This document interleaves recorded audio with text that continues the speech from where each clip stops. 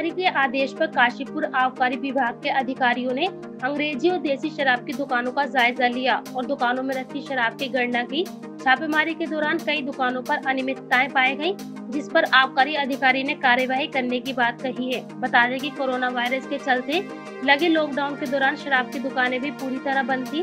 शराब की दुकानें बंद होने के बाद भी शराब की कालाबाजारी की सूचनाएँ लगातार चल रही थी। वहीं लॉकडाउन के दौरान ऑरेंज और ग्रीन जोन में शराब की दुकानों के आदेश भी मिले हैं, जिसके चलते जिला अधिकारी ने आबकारी अधिकारी को अंग्रेज़ी और देशी शराब की दुकानों पर औचक निरीक्षण करने के निर्देश दिए हैं, जिसके चलते काशीपुर आबकारी अधिकारी महेंद्र बिस्ट ने अपनी टीम के साथ काशीपुर की कई दुकानों का निरीक्षण किया। जिसमें कुछ दुकानों पर रजिस्टर में लॉकडाउन से पूर्व स्टॉक मेंटेन नहीं किया गया था। इतना ही नहीं, अधिकारियों को कुछ शराब की दुकान पर स्टॉक स्टॉक रजिस्टर भी नहीं मिले। आबकारी अधिकारी महेंद्र बिस्ट ने कहा कि शराब की दुकान से स्टॉक रजिस्टर को ले जाने की किसी को भी अनुमति नहीं है। साथ ही उन्होंने कहा कि अनियमितताएँ पाई जाने वाली दुकानों की रिपोर्ट जिला आबकारी अधिकारी को भेज दी जाएगी, जिसके उपरांत कार्यवाही अमल में लाई जाएगी। लगभग दस एक दुकानों की चेकिंग कर ली गई है है ना? और इसमें कुछ में जो कमियाँ पाई जा रही हैं कि किसी का एक दिन की सेल नहीं भरी हुई है।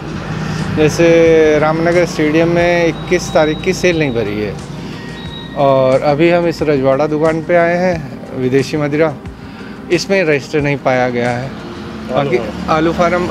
आलू फार्म विदेशी मदिरा दुकान पे इस दुकान का एक्साइज रजिस्टर नहीं पाया गया है इसमें।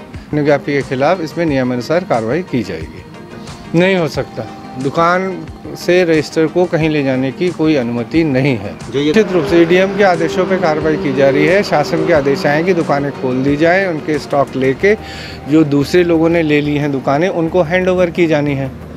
उसके कारण उस कारण इन पे वो की जा रही है और इस सारी दुकानों की वीडियोग्राफी भी की जा रही है इस दौरान।